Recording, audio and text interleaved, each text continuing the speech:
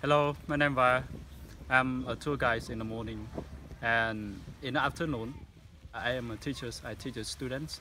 And every money that I get from cycling tour I use that money to buy the book and materials, you know, to support my student in the school, in the local school in this town.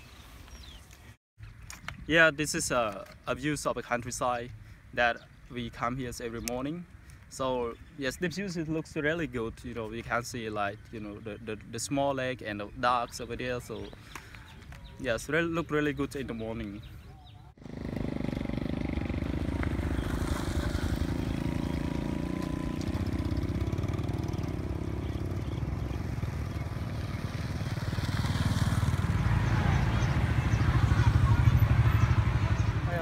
Uh, this is a, a floating school.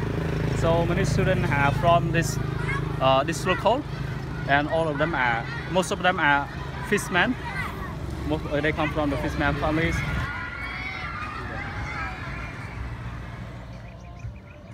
Even at the site, still has that.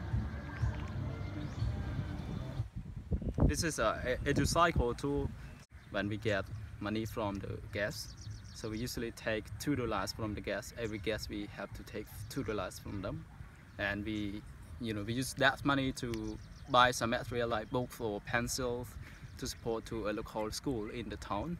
So this is what we are doing nowadays, and we, yes, have fun together. Yes.